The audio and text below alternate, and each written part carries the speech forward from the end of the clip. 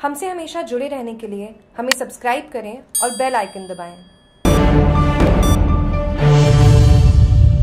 पाली आबकारी विभाग की कार्यवाही 16 लाख की पकड़ी शराब। आबकारी विभाग पाली द्वारा बाहर के राज्य की शराब के परिवहन के विरुद्ध बड़ी की कार्रवाई। कैलाश चंद्र प्रजापति आबकारी अधिकारी पाली ने बताया कि 2020 पेटी अंग्रेज़ी शराब के परिवहन के साथ एक आयर्स ट्रक बरामद किया गया।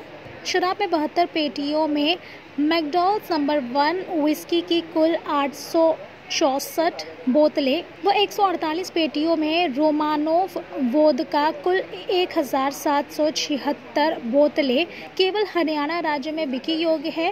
कार्रवाई कर किया बरामद। सूचना के आधार पर राष्ट्रीय राजमार्ग बासठ पर RS truck number G J शून्य छः बी टी आठ शून्य छः चार जाब्ते की सहायता से पीछा कर चोटिला के पास एक होटल के पास रुकवाया गया तो उसमें से एक व्यक्ति उतरकर भागा व दूसरे को ट्रक में ही दबोच लिया। तथा दूसरे का पीछा करके बहु मुश्किल से पकड़ा गया।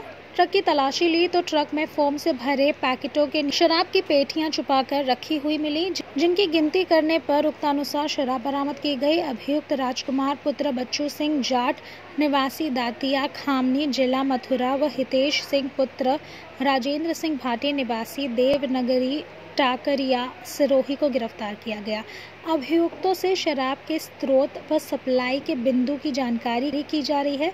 शराब की अनुमानित कीमत करीब 16 लाख रुपए बताई जा रही है। जागरूक टीवी की पाली से दिनेश चौहान की रिपोर्ट। जागरूक टीवी की नई दिल्ली से खास रिपोर्ट।